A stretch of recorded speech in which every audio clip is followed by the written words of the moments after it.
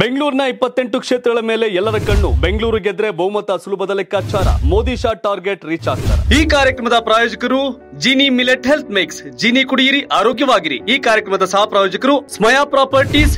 ಯೂಟ್ಯೂಬ್ನಲ್ಲಿ ಸಬ್ಸ್ಕ್ರೈಬ್ ಆಗಿ ಫೇಸ್ಬುಕ್ನಲ್ಲಿ ಫಾಲೋ ಮಾಡಿ ವೆಬ್ಸೈಟ್ ಲಾಗಿನ್ ಆಗಿ ಕಂಪ್ಲೀಟ್ ನ್ಯೂಸ್ ಓದಿ. ಹ್ಮ್. ಎಸ್ ಎಲ್ರಿಗೂ ಎರಡು ದಿನ ಅದ್ದೂರಿಯಾಗಿ ರೋಡ್ ಶೋ ಮಾಡಿದ್ರು.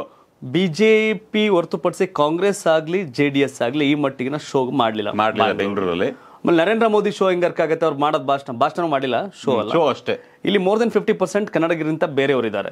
ಅಂದ್ರೆ ಅದರಲ್ಲಿ ಬಹುತೇಕ ವೋಟರ್ಸ್ ಉತ್ತರ ಭಾರತೀಯ ಎರಡನೇ ವಿಚಾರ ಅಂದ್ರೆ ಬರೀ ಮೋದಿನ ಉತ್ತರ ಭಾರತೀಯ ಒಪ್ತಾರೆ ಅಂತಿಲ್ಲ. ಬ್ಯಾಂಗ್ಳೂರ್ ಬೇಸಿಕಲಿ ಬಿಜೆಪಿಗೆ ಸಪೋರ್ಟಿವ್ ಆಗಿರೋ ಮೂರು ಲೋಕಸಭೆ ಅವರೇ ಗೆದ್ದಿದ್ದಾರೆ. ಬಿಬಿಎಂಪಿ ನಲ್ಲಿ ನಂಬರ್ ಆಫ್ ಕಾರ್ಪೊರೇಟರ್ ಈ ಹಿಂದೆ ಅವ್ರು ಗೆದ್ದಿದ್ದಾರೆ ಈ ಲೆಕ್ಕಾಚಾರದ ಕಾರಣ ಮೋದಿ ರೋಡ್ ಶೋ ಮತ್ತು ಇವೆಲ್ಲ ಸ್ಟ್ರಾಟಜಿಗಳು ವರ್ಕ್ ಆಗ್ತದೆ. ಪ್ರತಿ ವಿಧಾನಸಭಾ ಕ್ಷೇತ್ರದಲ್ಲಿ ಬಿಜೆಪಿಯ ಬೇರೆ ರಾಜ್ಯದ ಇಬ್ರು ಮೂವರು ಎಂ ಎಲ್ ಎಗಳನ್ನ ಉಸ್ತುವಾರಿ ಹಾಕಿದ್ದಾರೆ. ಉಸ್ತುವಾರಿ ಹಾಕಿದ್ದಾರೆ. ಮೋದಿ ನಾನು ಸುಮಲತಾ ಸಂದರ್ಶನ ಮಾಡಿದಾಗ ಮೋದಿ ಹೇಳಿದ್ರೆ ಇಪ್ಪತ್ತಾರು ಗೆಲ್ಲಬೇಕು ಅಂತಾರೆ ಬೆಂಗಳೂರಲ್ಲಿ ಇಪ್ಪತ್ತೆಂಟರಲ್ಲಿ. ಅಮಿತ್ ಶಾ ಇಪ್ಪತ್ತಿಪ್ಪತ್ತೇಳು ಗೆದ್ದೇ ಗೆಲ್ತಿ ಅಂತ ಹೇಳ್ತಾರಂತೆ. ಬಟ್ ಅವ್ರ ಟಾರ್ಗೆಟ್ ಏನು ಅಂದ್ರೆ ರೂರಲ್ ಏರಿಯಾ ಕನ್ವಿನ್ಸ್ ಮಾಡೋಕ್ಕಿಂತ ನಮ್ಮ ವೋಟರ್ಸ್ ಎಲ್ಲಿದ್ರೆ ಅಲ್ಲಿ ಕನ್ವಿನ್ಸ್ ಮಾಡಬೇಕು ಅಂತ.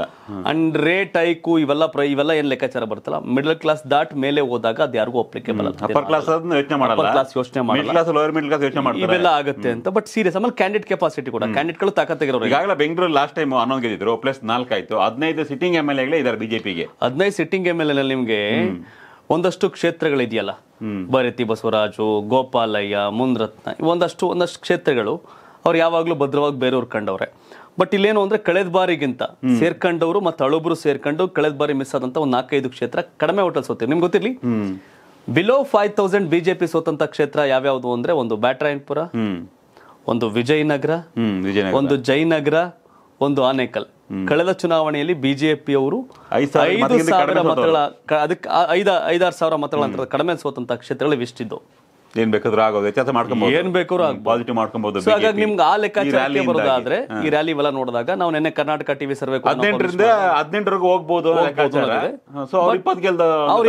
ಸಹಜವಾಗಿ ಎಲ್ಲಿ ಇನ್ನೆಲ್ಲಿ ಸಾಧ್ಯ ಆಗುತ್ತೆ? ಬಿ ಟಿ ಎಂ ಅಲ್ಲಿ ಸೀರಿಯಸ್ ಚುನಾವಣೆ ಮಾಡ್ತಾವ್ರೆ. ಹೆಬ್ಬಾಳ ಮಾಡ್ತಾವ್ರೆ. ಹಿಂಗೆಲ್ಲ ಇದೆ. ಬಟ್ ನೋಡ್ಬೇಕು ಏನಾಗುತ್ತೆ ಅಂತ. ಎಸ್ ವೀಕ್ಷಕರು ನಿಮ್ಮ ಪ್ರಕಾರ ಬೆಂಗಳೂರು ಇಪ್ಪತ್ತೆಂಟು ಕ್ಷೇತ್ರದಲ್ಲಿ ಬಿಜೆಪಿ ಎಷ್ಟು ಗೆಲ್ಲುತ್ತೆ ಕಾಂಗ್ರೆಸ್ ಎಷ್ಟು ಗೆಲ್ಲುತ್ತೆ ಜೆ ಡಿ ಎಸ್ ಎಷ್ಟು Aam Aadmi party ಗೆಲ್ಲುತ್ತೆ Aam Aadmi party C V Ram Nagar ಸೇರಿದಂಗೆ Pulkesh Nagar ಎಲ್ಲ ಒಳ್ಳೆ ಫೈಟ್ ಕೊಡ್ತಾ ಇದ್ದಾರೆ ಪದ್ಮನಾಭ ನಗರ ಮಹಾಲಕ್ಷ್ಮಿ ಲೇಔಟ್ ಎಲ್ಲ ಕಡೆ ಕ್ಯಾಂಡಿಡೇಟ್ಸ್ ಇದ್ದಾರೆ ಫೈಟ್ ಕೊಡ್ತಾ ಇದ್ದಾರೆ ಯಾರು ಎಷ್ಟು ಗೆಲ್ತಾರೆ ಕಾಮೆಂಟ್ ಮಾಡಿ, ಮುಂದೆ ಯಾವ ಪಕ್ಷ ಅಧಿಕಾರಕ್ಕೆ ಬರುತ್ತೆ, ಯಾರು ಮುಖ್ಯಮಂತ್ರಿ ಆಗ್ತಾರೆ ಕಾಮೆಂಟ್ ಮಾಡಿ ತಿಳಿಸಿ. ನಮ್ದೊಂದು ಕಳಕಳಿ ಇದೆ. ಒಳ್ಳೆಯ ಅಭ್ಯರ್ಥಿನ ಆಯ್ಕೆ ಮಾಡ್ಕೊಳ್ಳಿ. ಇಪ್ಪತ್ತೆಂಟು ಕ್ಷೇತ್ರ ಆಗಿರ್ಬೋದು, ನಿಮ್ದೇ ಯಾವುದೇ ಒಂದು ಕ್ಷೇತ್ರ ಆಗಿರ್ಬೋದು. ಯಾರು ಅರ್ಹರು, ಯಾರು ಯೋಗ್ಯರು, ವಿಧಾನಸೌಧ ಮೆಟ್ಲತ್ತಿ ನಿಮ್ಮ ಕ್ಷೇತ್ರವನ್ನು, ನಿಮ್ಮ ಸಮಸ್ಯೆಗಳನ್ನು ಇತ್ಯರ್ಥ ಮಾಡುವಂಥ ಕೆಪಾಸಿಟಿ ಯಾರಿಗಿದೆ? ಅಂತ ವ್ಯಕ್ತಿಯನ್ನು ಆಯ್ಕೆ ಮಾಡ್ಕೊಳ್ಳಿ. ಪಕ್ಷ, ಜಾತಿ, ಧರ್ಮ, ಇದ್ಯಾವುದನ್ನು ನೋಡದೆ ವ್ಯಕ್ತಿ ಮತ್ತು ವ್ಯಕ್ತಿತ್ವ ಇದನ್ನು ನೋಡಿ ನಿಮ್ಮ ಮತವನ್ನು ಚಲಾವಣೆ ಮಾಡಿ. ಮೇ ಹತ್ತನೇ ತಾರೀಕು ತಪ್ಪದೆ ವೋಟ್ ಮಾಡಿ. ಧನ್ಯವಾದಗಳು. ಕರ್ನಾಟಕ ಟಿವಿ. ಕನ್ನಡಿಗರ ಧ್ವನಿ.